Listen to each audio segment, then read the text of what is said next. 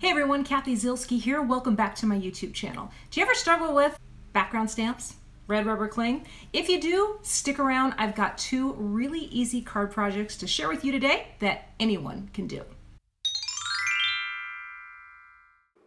Do you ever get your hands on a background stamp and you love it and you think it's so beautiful and then you realize that to stamp it down and color it might just be a bit above your pay grade?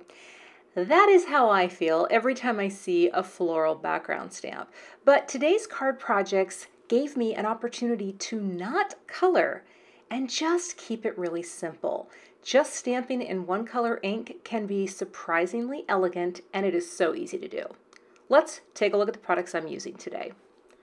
This is the stamp I fell in love with, and this is called So Beautiful, a lovely stamp from Simon Says Stamp. And I love the floral designs. And I knew I'm going to have a horrible time coloring this. So I decided to get creative. Well, by simplifying. I've got a couple inks here that I'll be using for the main cards that I'm sharing. And for my sentiment today, I'm just going to use a die. This is from the Mom and Dad die set that I designed for Simon. I'm going to make a card for my dad. For cardstock today, I've got some Audrey Blue to match my ink, a little kraft, and some Neenah Solar White Classic Crest in the 110 pound weight. I'll also be using these pre-printed sentiments for both card projects today. I'll be using my MISTI stamp positioner tool today, and I'm going to take out the pad and the paper inserts, get those out of the way because with a cling stamp, these thicker stamps, you have to remove that insert pad. And what I like to do is place the cling side right inside the MISTI. I don't like putting the stamp on the door. Instead, I'm going to position my cut piece of cardstock, and this is cut down to five and a half by four and a quarter. I'm going to use some low-tack tape. This is purple tape from Thermoweb. I'm going to pop the tape and smooth it down right onto the cardstock. And then what I'm going to do is pick up the paper with the MISTI door. The reason I like doing it this way is because it's just easier to press the paper into the stamp to get a great impression. So I'm going to take my Audrey Blue ink, and this is also Audrey Blue cardstock. So I'm going for this tone on tone look. I'm going to ink up the stamp really well, get a nice coating of that blue. Then I will take the door, flip it down, and then I use a Swiffer cloth so that my hand can easily slide to have even, smooth pressure. It's just easier than, you know, having your fingers stick. But you slide over, press that paper right into the stamp, and there's impression number one. Now the beautiful thing about the MISTI, you can hit it again with more ink, press it down again, and now I will have an absolutely perfect impression on the cardstock. Isn't that pretty? It's so simple, but you don't need to add any color to something like this. This itself creates a beautiful monochromatic pattern. I'm cutting a panel using one of my favorite dies. This is the A2 Layers die from Waffle Flower. Just trimming that down a little, and I'll move on. With the die cut machine out, I'm going to cut the shadow layer and a few of the dad words out of some cardstock. And once I have those cut out, I'm going to glue them together with some liquid glue. So I just die cut three of the dad cutout words, and that is the Neenah Solar White 110 pounds, so it's really nice and sturdy. And I will glue these together, and I like using the liquid glue because it gives you a little bit of playtime to wiggle it into place so it's perfectly lined up. And then I will repeat with the third dad and then mount those onto the shadow layer. For my sentiment, I'm going to use Miss You So, but I'm going to use one of my sentiment label dies. These will perfectly cut out the sentiments on these pre-printed sentiments. And the thing that I love about these sentiments, there is no stamping required. They are white crisp ink on black. Well, they're printed black. Ah, looks so good. And then I keep all of the loose pieces just in a little storage pocket so I don't lose any of the sentiments. For my card base, I'll score this at five and a half inches. It's going to be US A2 size, which is four and a quarter by five and a half.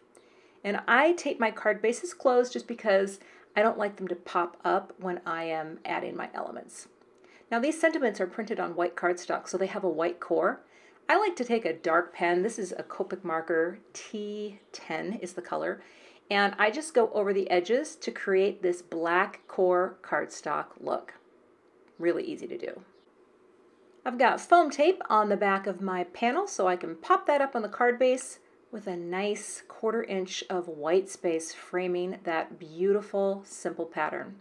I've got some thin foam squares on the back of my die cut and I will line that up right in the center in the lower portion of the panel.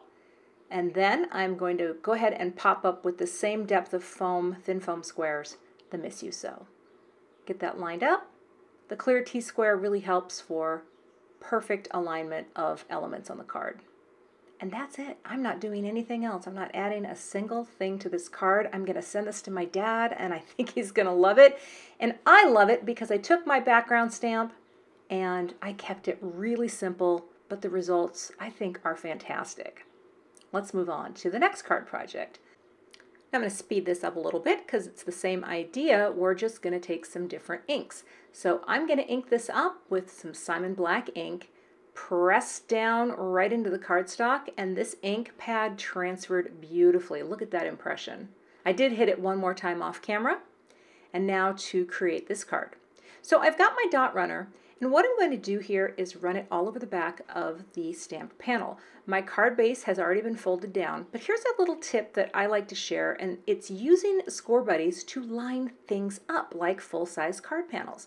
All you do is press the card base and the panel into that corner and you are perfectly lined up so that your panel is now on your card base. Easy peasy and breezy. Great tip. And then I'll add a little sentiment. This is from the Reverse Sympathy. I think this is a very elegant, simple, understated sympathy card. And these little sentiment strips can be used for so many different types of card projects. And that's that. I suppose it would be cute too to color in one of the flowers, but that was, no, I'm, I'm keeping it simple. Now this is another cling stamp, Peony Bouquet.